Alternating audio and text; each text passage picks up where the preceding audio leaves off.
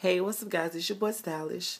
Um, this is not a YouTube video, but it's a um, quick hair review of the type of hair I've been rocking um, for a few months. Um, right now I'm rocking um, Body Wave. Um, it's 30 inches, Brazilian. I use three bundles. I strain it. It's so like lovely.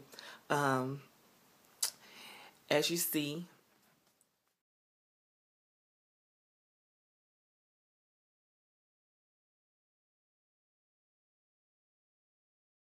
And the hair that was provided to me was um, it's by Risha Allure.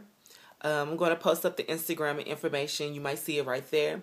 Um, you can check in the description box below. I'm also going to have her um, contact her contact info in there as well. Um, make sure you guys check her out. You got different types like Virgin, Malaysian, Brazilian, all different types, um, inches. Um, ladies, go to her Instagram. Go, go, go follow, and see what you like. Um, good quality hair, like.